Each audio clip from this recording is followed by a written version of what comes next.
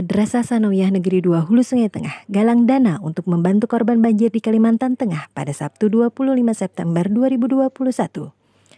Penggalangan dana tersebut dikoordinir oleh Palang Merah Remaja MTSN 2 Hulu Sungai Tengah. Kegiatan penggalangan dana tersebut dimulai pada tanggal 23 sampai dengan 25 September lalu. Pembina PMR MTSN 2 Hulu Sungai Tengah Dr. Anda Hajah Rohana mengatakan hasil dari penggalangan dana akan disalurkan melalui PMI Kabupaten Hulu Sungai Tengah.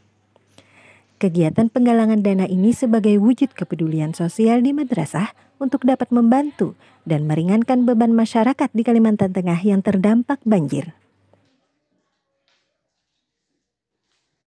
Assalamualaikum warahmatullahi wabarakatuh uh, kami dari PMR MTSN 2 HST menggalang dana jadi minta bantuan kepada siswa siswi MTSN 2 HST untuk menyumbang membantu itu pada korban banjir di Kalimantan Tengah yang insya Allah akan kami salurkan kami sampaikan nanti melalui PMI Kabupaten Hulu Sungai Tengah.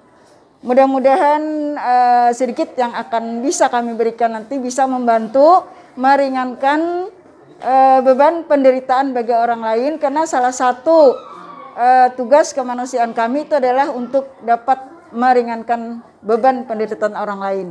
Yang mana kami juga pernah merasakan itu bagaimana uh, kebanjiran.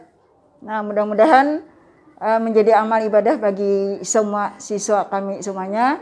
Demikian, Assalamualaikum warahmatullahi wabarakatuh. Di MTSN 2 Hulu Sungai Tengah sendiri, kegiatan semacam ini sering dilakukan dan juga merupakan program PMR MTSN 2 Hulu Sungai Tengah.